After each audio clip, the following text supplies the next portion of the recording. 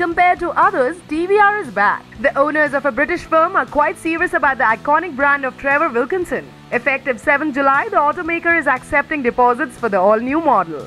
How much? Well, it's 5,000 euros or $7,830 at current exchange rates. With initial production in 2017 to be in the low hundreds, the early units are likely to be much coveted. What to expect from the model that will see the rebirth of TVR? Well, Gordon Murray, McLaren Formula One designer, is working on the project, so we can expect exceptional aesthetics in a form follows function type of way.